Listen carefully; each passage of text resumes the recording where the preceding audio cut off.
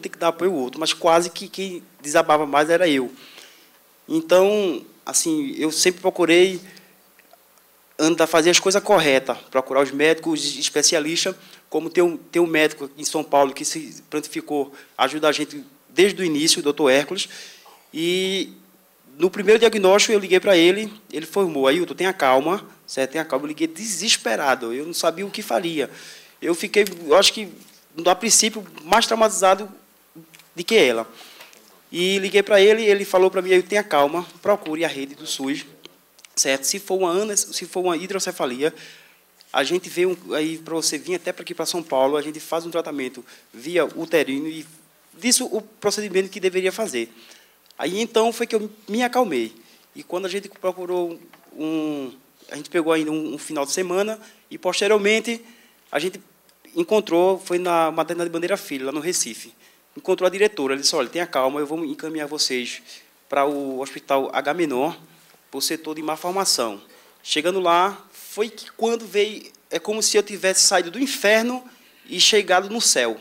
A verdade foi essa, que me deparei com uma, equipe de médico muito excelente, é, tendo em vista que a turma fala muito da rede do SUS, eu encontrei uma equipe médica muito simpática, que foi que deu todo o suporte médico para a gente, certo? E doutor Eugênio e a equipe médica dele informou. Ele antes a gente não sabia do que estava se passando, se era uma anencefalia ou uma hidrocefalia, que até porque eu nem, nem, nem tomava nem tinha consciência o que era isso. Que é, a gente a gente quer ter filho, não quer saber de doença, não quer saber de coisas de prejuízos futuros, né? Quer ter uma família, como hoje nós nós temos.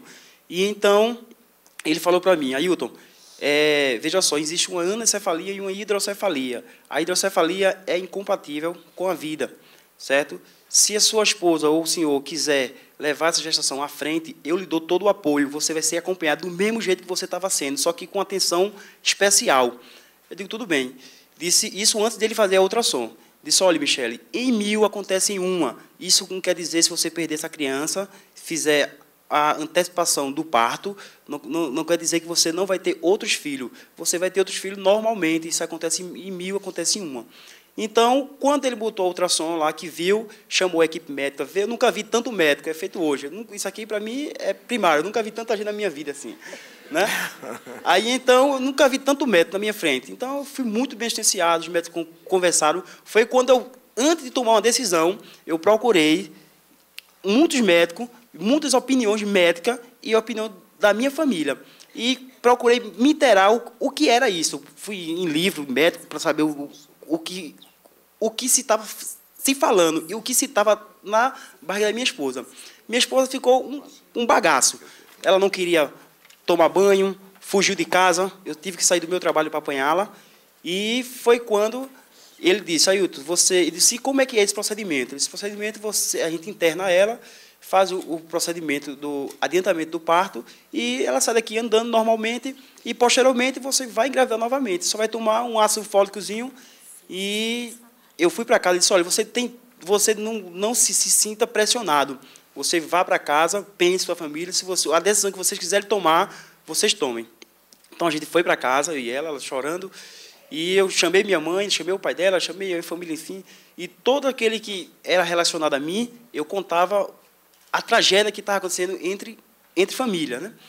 E jamais eu fui pela opinião de ninguém, nem que sim, nem que não. Eu e minha esposa, minha esposa ela é evangélica, eu digo, olha, ore a Bíblia, peça a Deus, certo? O que a decisão que você tomar, para mim está tomada, certo? O que se você quiser acompanhar essa gestação, nós vamos acompanhar. Agora, sabendo que o trauma, eu sabendo dentro de mim que o trauma seria bem maior, porque não tem coisa pior do mundo. Eu já enterrei meu pai, enterrei o meu irmão. Para a gente hoje que é grande, a gente enterrar um, uma pessoa, um, um ente querido, um amigo, não tem coisa pior. Eu acho que muitos aqui já tiveram esse, esse, essa infelicidade.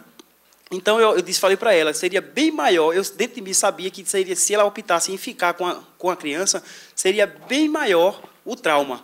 Eu sabia que eu não, talvez até eu teria até me separado dela, porque cria aquele trauma. Será que o defeito está no marido? Será que o defeito está na mulher? Será que o defeito é genético? Será que o defeito é no sangue? Porque tem é, essas, essas conversas aqui, ao invés de ajudar, só faz atrapalhar.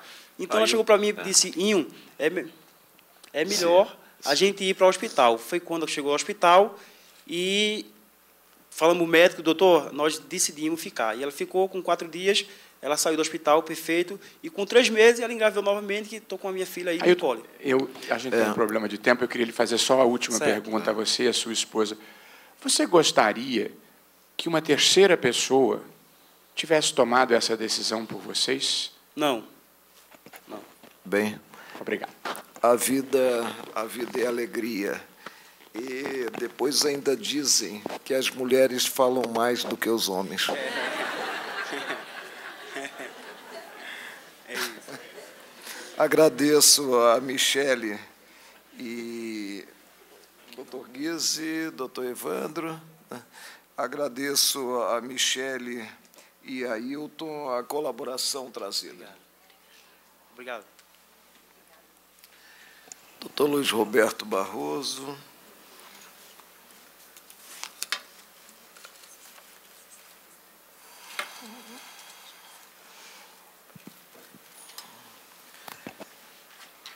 Algum pedido de esclarecimento, doutor Luiz Não, pelo contrário, eu agradeço a colaboração imensa da professora Lia Zanota, não apenas com o seu depoimento e um texto muito preciso e muito tocante, como pela exibição do filme e pela feliz ideia de dar dois rostos humanos. Essa não é uma causa abstrata, nós estamos lidando com gente, pessoas, sentimentos e sofrimentos, e acho que sua ideia de trazer esse casal nos proporcionou a possibilidade de ver um depoimento de quem efetivamente passou por isso. Muito obrigado, ministro. Doutor Evandro. Doutora Lia, a senhora nos trouxe, nos trouxe aqui a experiência de pessoas que resolveram interromper a gravidez. Nessa sua, nesse seu levantamento que você fez, você teve a oportunidade de conversar com pessoas que decidiram prosseguir se, se teve esse contato, como era o espírito dessas pessoas, a, a, o sentimento delas? É, diante dessa, desse momento particular da liminar, foram 58 mulheres que puderam interromper sua gravidez. Algumas, entre elas, não interromperam, mas poucas. Uma não interrompeu, Josefa, porque o feto veio a falecer antes. Ou seja, ah, nós queríamos dizer que é, a questão toda da, da, liminar, ela colocou para as mulheres uma situação absolutamente nova, porque é, é, é, fato que há mais de 5 mil alvarás judiciais que concederam e autorizaram a interrupção da gravidez em casos de anencefalia. No entanto, todas elas relatam um calvário de pedir e chegar a estes alvarás, e há vários juízes e promotores que se recusaram. Então, portanto, neste momento é esse lugar em que é possível fazer essa interrupção da gravidez, de alguma coisa que eu concordo, absolutamente apoio a proposta da ação, que é a de que isso de forma nenhuma significa uh, terminar uh, e discutir alguma coisa que tenha sequer bens jurídicos a ponderar do meu ponto de vista, porque não há, diante dessas mulheres, elas sabem que não haverá filho, não há filho esperado, ele não virá. Essa certeza de que ele não virá é que faz com que elas queiram aquietar o peso do mundo, queiram tirar o mundo nas costas, queiram tirar o controle de outros, de um terceiro, sobre os seus corpos. E muitas delas, há, na maior parte, que vão, a grande maioria, busca justiça para retirar.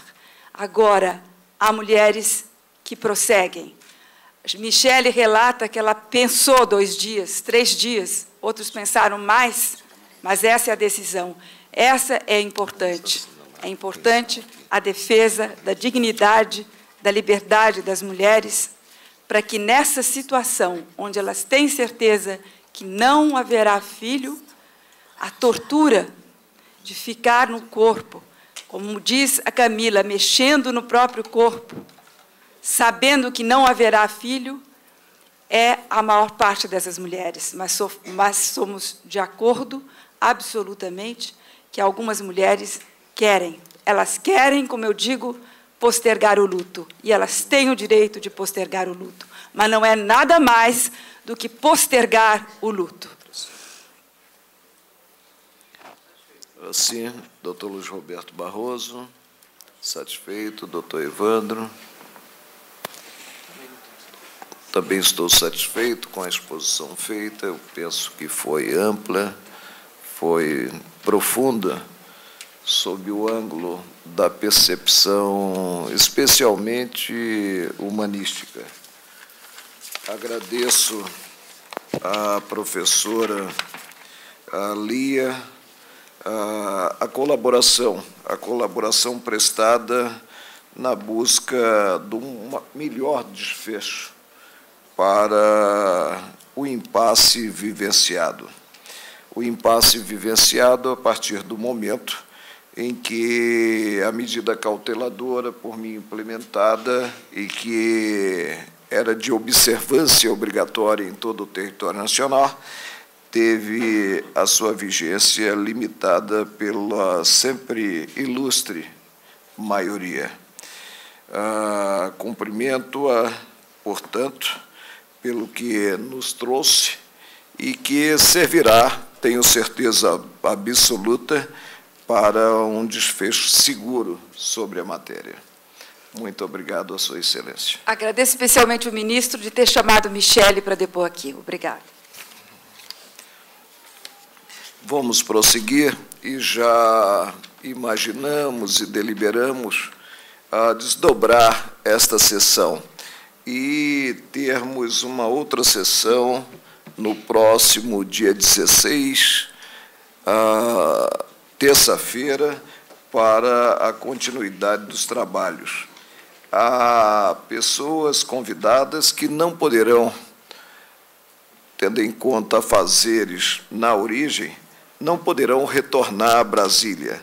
Eu chamo agora a doutora Cíntia Macedo Specian, essa a pronúncia, especialista em pediatria, habilitação em neurologia pediátrica, coordenadora do serviço de neonatologia e da UTI neonatal do Hospital São Francisco.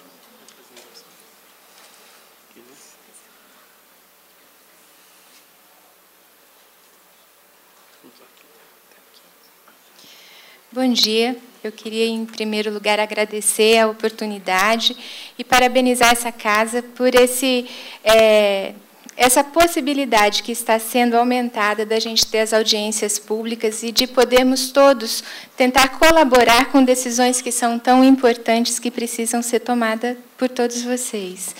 Agradeço a presença dos colegas na mesa é, a nossa fala ela tem o intuito de realmente tentar colaborar com dados que, técnicos que nós observamos que até o momento não foram levantados. E, através disso, som, fazer uma somatória mesmo na possibilidade de ajudá-los a decidir a melhor forma.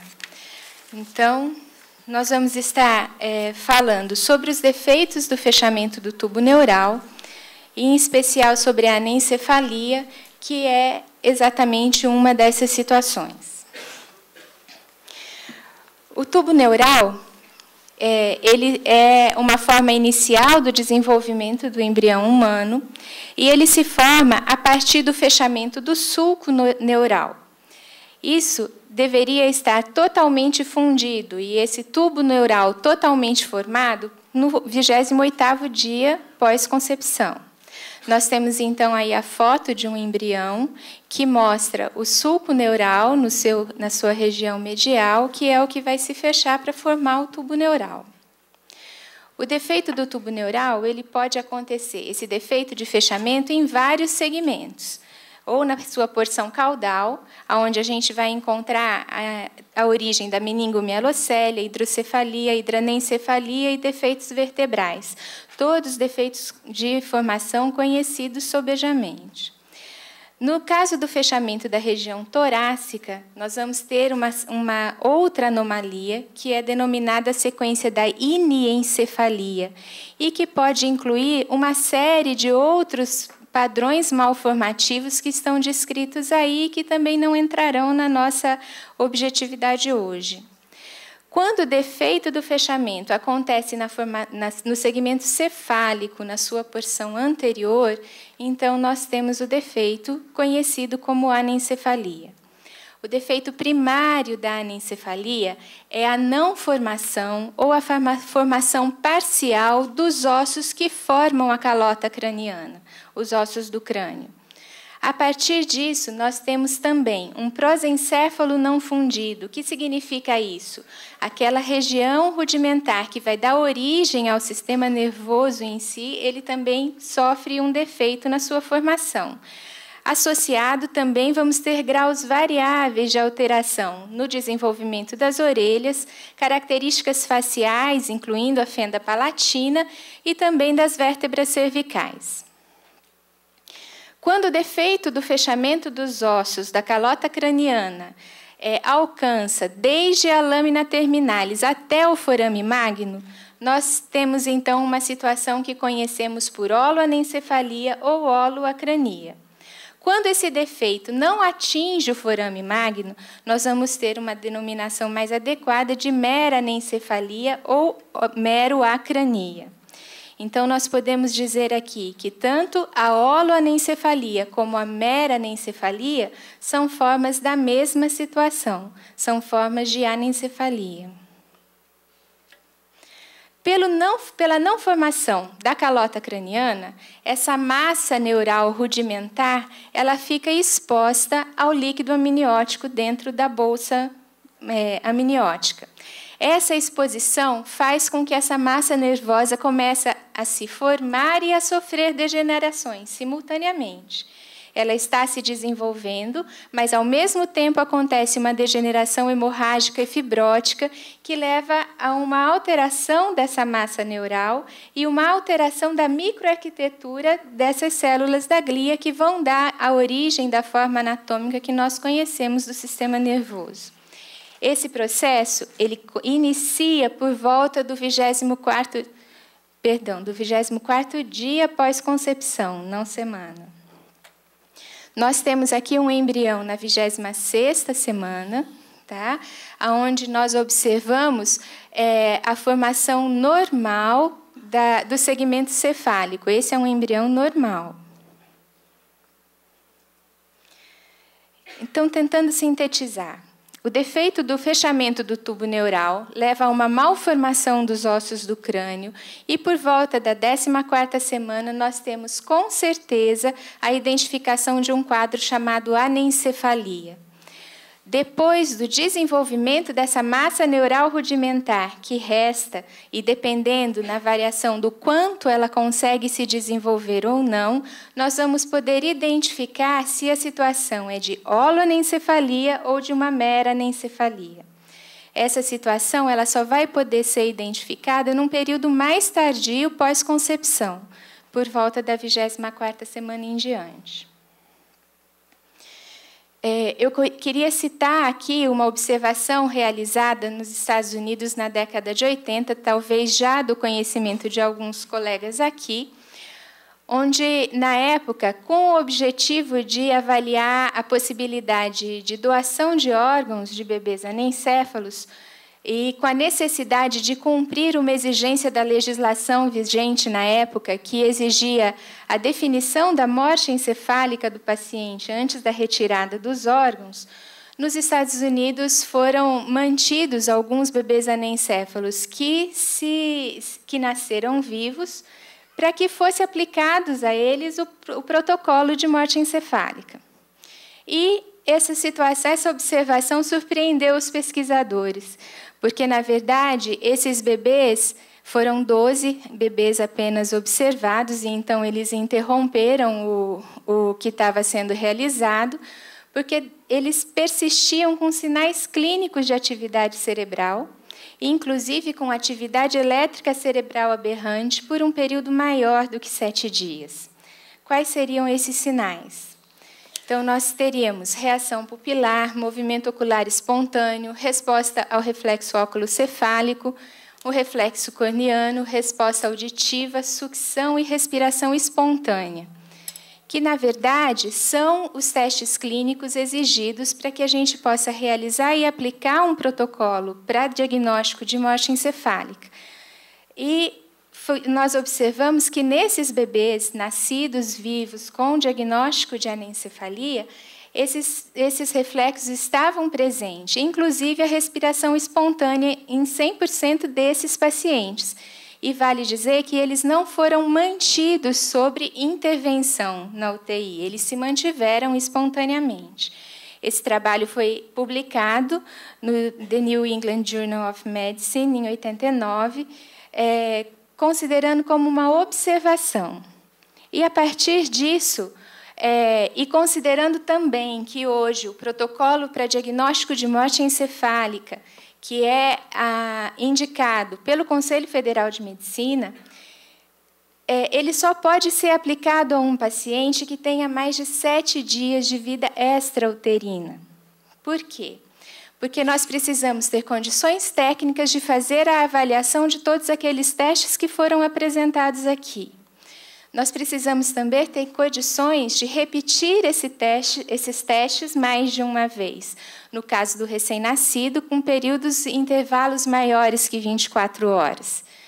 Associado a isso, precisamos é, poder identificar, através de exames complementares, se temos ou não atividade elétrica registrada, porque desde que exista atividade elétrica, nós não podemos fazer o diagnóstico da morte encefálica. Né? Portanto, a gente pode dizer que o indivíduo em morte encefálica não apresenta atividade elétrica cerebral, as ondas cerebrais não são identificadas no eletroencefalograma. É, e, portanto, aplicar o protocolo de morte encefálica no feto é uma coisa que não é possível. Não há como, não se aplica gente usar a terminologia de morte encefálica no feto, mesmo que ele tenha um diagnóstico de, morte, de anencefalia. O diagnóstico da anencefalia ele é, sem dúvida, muito preciso. E com os métodos ultrassonográficos que encontramos hoje, entre 12 e 14 semanas, não há dúvida do diagnóstico. Nós podemos observar com precisão que se ocorreu o defeito de fechamento do tubo neural. Mas somente após a 24ª semana de gestação é que nós vamos poder observar o grau de desenvolvimento dessa massa encefálica rudimentar que existia abaixo dessa calota que não se formou. E já nesse momento, os métodos ultrassonográficos não conseguem ser tão precisos, porque mesmo a presença de coágulos ou de tecido cicatricial não consegue, não é não permite a gente diferenciar o que é uma coisa ou o que é outra esse método. É, outra situação que é muito importante no diagnóstico da anencefalia é a dosagem da alfa-fetoproteína. Também é conhecido que essa substância ela aumenta bastante no líquido amniótico nos casos de anencefalia quer seja na forma de holoanencefalia, quer seja na forma de meranencefalia. Também podemos encontrar essa substância nos casos de meningomielocele ou de mielocele, caso elas estejam rotas dentro do, do útero. Logo, ela é um, um, dado importante que vai somar no diagnóstico, mas de forma nenhuma nós podemos considerar isso como um fator absoluto para o diagnóstico. Apenas para exemplificar, e que a gente viu difundido na mídia né, essa última semana, no caso Marcela, nós não podemos falar em erro diagnóstico. Isso não é uma verdade. O diagnóstico foi correto. O diagnóstico inicial, com 14 semanas, era de uma anencefalia. E realmente essa criança, quando nasceu, ela apresentava a forma clínica de que os ossos do crânio não estavam formados, estavam abertos. Mas só após o nascimento, com os exames complementares, é que foi possível identificá-la como uma anencefalia na forma de mera anencefalia, porque houve o tempo para que essa massa rudimentar tivesse algum desenvolvimento. Esse desenvolvimento é muito importante que a gente diga, ele nunca vai nos prover de um cérebro perfeito. Né? Não é isso que estamos querendo dizer. Não vamos refazer aqui o órgão como ele deveria ter sido formado na sua origem. É, gostaria apenas de estar aqui mostrando para vocês, através desse diapositivo, que a gestação, ela é a fecundação, ela é um processo contínuo, né? A part, o desenvolvimento a partir da fecundação. E nós temos entre no final da segunda semana, meio da terceira semana, o período onde a gente tem efetivamente a formação dos sistemas que vão levar à formação do sistema nervoso central. Isso vai acontecer até o início da sexta semana, certo? Esse período é um período onde a gente sabe que o, o, embrião ele é mais suscetível às alterações que podem levar a malformações que ocorram, sejam essas, esses agressores para esse sistema nervoso central de origem externa, mãe, ou mesmo a fatores mutacionais, certo? Só que se a gente observar esse diapositivo, nós vamos observar também que o desenvolvimento desse sistema nervoso central, ele não acaba na sexta semana a gente percebe que esse desenvolvimento ele prossegue até o termo da gestação. E é de conhecimento da, da ciência que, na verdade, a neurulação ela prossegue até a vida adulta. O desenvolvimento de, das células, a sua diferenciação, a sua especialização e, em alguns momentos, até o aumento do número de algumas células, ela pode ocorrer de maneira especial até o final da gestação, numa velocidade muito maior até o oitavo mês de vida extrauterina, mas ela continua ocorrendo também até o início da vida adulta. Era isso que eu tinha a dizer. Eu espero ter acrescentado a vocês informações importantes para a decisão. Sem dúvida alguma, acrescentou, doutor Luiz Roberto Barroso. Agradecer a exposição, muito clara, não tenho nenhuma indagação a fazer. Ilustre doutor Evandro, doutor Guise. Fiquei com uma dúvida, excelência, quando ela falou em 28º dia o tubo deve estar totalmente fechado, sendo que no 24º dia da gestação ocorre a deterioração do cérebro pelo líquido amniótico. Essa é. divergência de Isso. datas aí. O que acontece é o seguinte: a partir do 24 dia de gestação, essa massa encefálica ela já iniciou o seu desenvolvimento. Esse ducto, esse, esse tubo neural, ele já deveria estar se fundindo e ele deveria estar esse processo completo até o 28º dia de gestação. Certo? Agora, como esse fechamento não ocorre por completo, essa massa rudimentar que está se formando, ela vai ficando cada vez mais exposta ao líquido amniótico. Dependendo da extensão de abertura dessa calota craniana ou desses ossos cranianos que não se formaram, maior é a exposição dessa massa.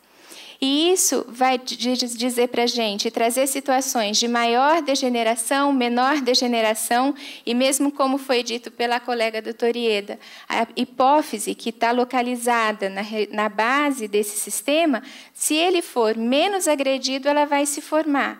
E ela pode até ter a sua função a contento, levando até o parto. Agradeço a colaboração da doutora Cíntia Macedo Especia, é Especia, Exato.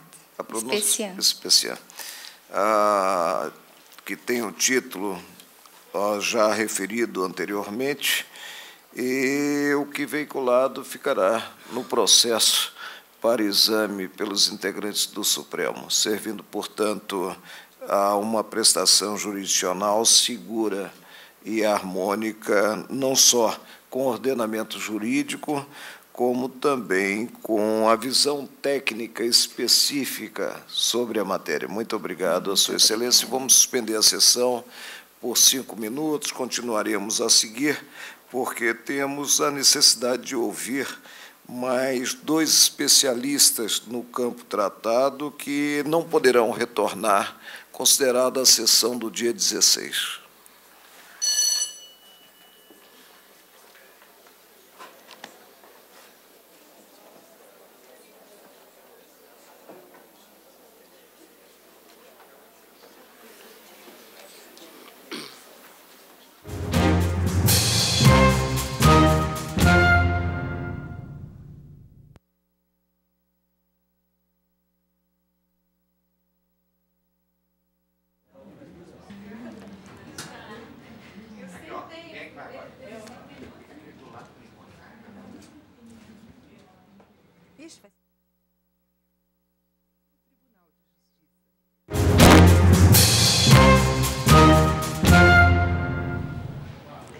O ministro Marco Aurélio Melo fez uma pequena interrupção nesse terceiro dia da audiência pública, que trata da interrupção da gravidez de fetos anicéfalo. Ele está retomando agora uh, a audiência. Vamos assistir.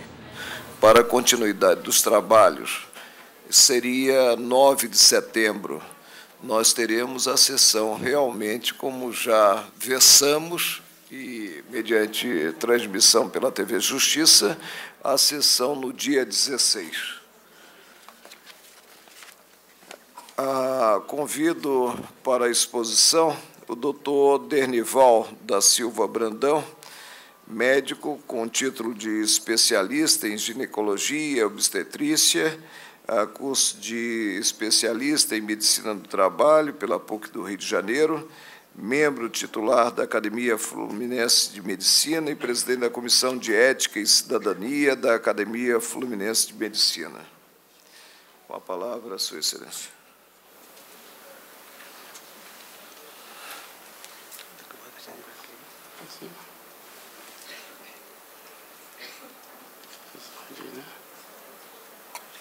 Esse mesmo? Vai passar para dentro, é? é só aqui, aqui. Aqui, aqui. Isso. Aqui volta, tá? Aqui faz para frente. Aqui volta. Aqui é. para frente. Isso, tudo ladinho aqui. Quero agradecer de início a, o convite do ministro é, do Marco Aurélio para estar presente aqui. E é com muita satisfação que estou, porque eu sou médico há 50 anos, 50 anos dedicado à obstetrícia, não só nas maternidades, na, dos IAPs antigamente, depois, agora continuo a fazer partos, como também porque eu trabalhava em ambulatórios, também atendendo essas pacientes em ambulatório do IAPs e também no meu consultório. Portanto, eu tenho alguma carga, alguma experiência a transmitir com relação a isso. Então, quero agradecer também ao senhor Procurador-Geral da República, que nos convidou para estar aqui presente, na pessoa do doutor Antônio, e ao seu antecessor, doutor Fonteles. Eu queria dizer que desses 50 anos que eu trabalhei e trabalho com obstetrícia, eu lidei também com muitas pessoas gestantes com anencefalia. E realmente é uma experiência assim dura para elas, mas nos casos que estiveram às minhas mãos, graças a Deus, é, não nenhuma fez o, o aborto. E eu quero fazer aqui uma uma observação, porque a interrupção do parto antes da sua viabilidade é aborto. O termo técnico que se usa em medicina é aborto quando é retirada da criança antes de sua viabilidade. Então, nenhuma delas fez o aborto, porque se é depois de sua viabilidade, já não é mais é, não é aborto, é antecipação do parto. O termo técnico é isso, antecipação terapêutica do parto, ou então aborto, quando é antes de sua viabilidade. A anencefalia é, uma, é um termo impróprio, porque quer dizer falta de encéfalo, isso não é verdade. O encéfalo é composto de muitas partes e a, a anencefalia tem graus variáveis. É uma malformação congênita grave que, que, como já foi dito, a falta a abóbora craniana, e parcialmente, e a massa encefálica é reduzida, mas tem vários graus. A criança anencefálica, vejam bem, não causa perigo à vida da sua mãe, mais do que uma gestação gemelar. Eu posso ler aqui os problemas que tem uma gestação gemelar já de início, de autoria do livro-texto do professor Bussam Maranemi, quando ele fala, é, inúmeras publicações têm mostrado que a mortalidade perinatal é maior na gravidez gemelar do que na única. A alta incidência de baixo peso ao nascer é a maior causa do aumento da taxa de mortalidade em gêmeos. O parto prematuro e o crescimento intrauterino retardado, chama-se CIUR, contribuem para esse problema. Além da prematuridade do CIUR, a gravidez gemelar tem uma frequência maior de anomalias congênitas. Né? O, a, a, o a gravidez gemelar. Placenta prévia, descolamento prematuro da placenta, pré-eclâmpsia, acidentes de cordão e apresentações anômalas. Tudo isso faz parte da gravidez gemelar. Devido aos avanços da medicina fetal e dos cuidados neonatais, nos últimos anos a mortalidade perinatal tem diminuído em todo o mundo. A utilização da prova de vitalidade fetal após 32 semanas reduziu acentuadamente a taxa de natimorte no, estudo de Hatton e colaboradores. Apesar dos resultados encorajadores, a gestação multifetal continua sendo problemática. Muitos óbitos ocorrem intraútero ou durante o período neonatal, em associação com a síndrome de dificuldade respiratória, hemorragia intracerebral, enterocolite necrotizante e complicações frequentes associadas à prematuridade. Agora, além de dizer que pode acontecer na gemelaridade o acolamento de um feto ao outro, chamado assim genericamente de siameses, mas que pode ser pelo tórax, pode ser pela cabeça, pela face, o que gera um problema realmente incontrolável. Difícil de ser feito, a não ser um parto prematuro depois da fiabilidade. E isso é um fato que a gente tem que levar em consideração. A gravidez do anencéfalo não aumenta muito o perigo da mãe que está gestando, porque a gravidez gemelar, que é muito mais comum, é muito mais perigosa. Portanto, é, essa criança que está sendo gestada, como o termo impróprio, porque ele tem reflexos primitivos e a criança responde a vários estímulos. Então, eu diria que o mais importante na criança e essencial é a sua natureza humana. Não é a beleza, não é nem a saúde, que muitas crianças nascem doentes, não só com anencefalia. O que importa é a dignidade do ser, do ser humano que deve ser respeitada em sua totalidade, a sua dignidade. O artigo 6 do Código de Ética Médica, dos princípios fundamentais, diz: o médico deve guardar absoluto respeito pela vida humana, atuando sempre em benefício do paciente. Jamais utilizará seus conhecimentos para gerar sofrimento físico ou moral, para o extermínio do ser humano ou para permitir e acobertar tentativa contra a sua dignidade e integridade. A medicina fetal trata o ser humano intraútero como um paciente que é, como todo o respeito que merece o ser humano. Quando necessário, a sua saúde submete-o a tratamento cirúrgico. O tema aborto significa uma oportunidade importante para uma ampla e necessária discussão, discussão dado o caráter complexo e delicado da, da, delicado da questão. A violência contra um ser humano é defesa